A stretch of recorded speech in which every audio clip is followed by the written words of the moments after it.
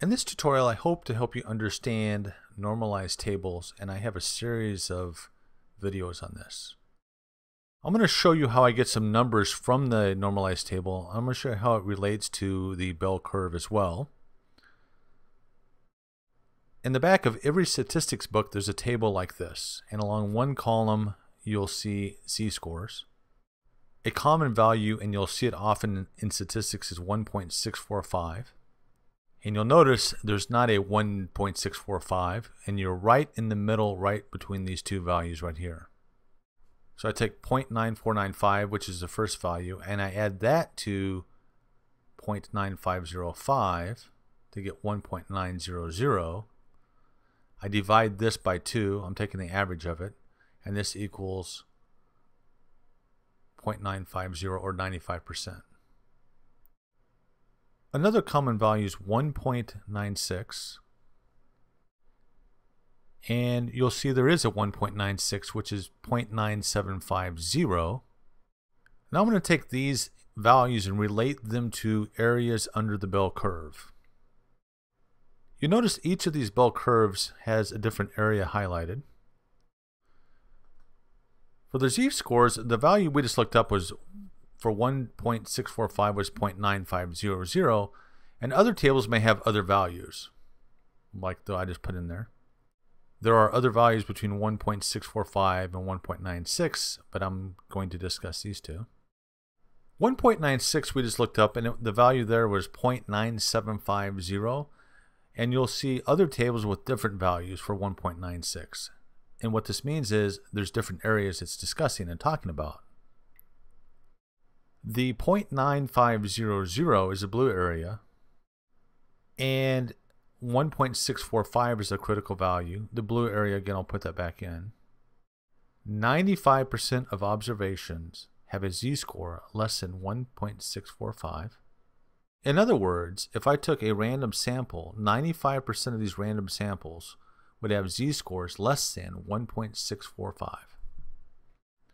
Now if I move over that 1.645 and I look at the area between the mean, which is 0, the z-score is 0, and 1.645, let me shade that blue again. 45% of the observations have a z-score between 0 and 1.645.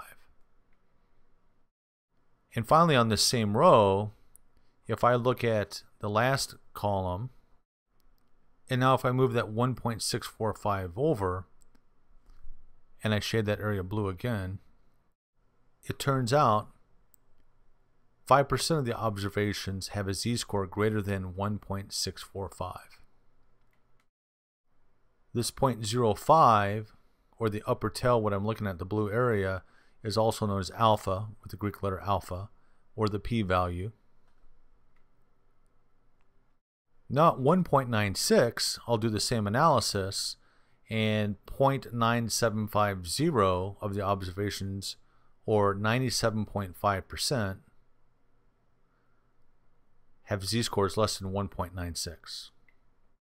It turns out that 0.475 or 47.5% of the observations occur between 0 and 1.96. And now finally, 0.0250 or 2.5% of all observations are greater than 1.96, a z-score greater than 1.96. This 0.0250 is known as alpha, and it's also the Greek letter alpha, or the p-value, for a z-score 1.96 as my z-scores get larger, the area becomes larger as well because it includes a larger proportion or larger percent. The same is true if I'm looking at between the mean and a z-score, the area becomes larger and larger as it as the z-scores become larger as well. But for the last one with that little tail right there, as the z-score becomes larger, the area and the tail becomes smaller and smaller. I have a series of videos on z-scores and normalized tables and watching those should help you out.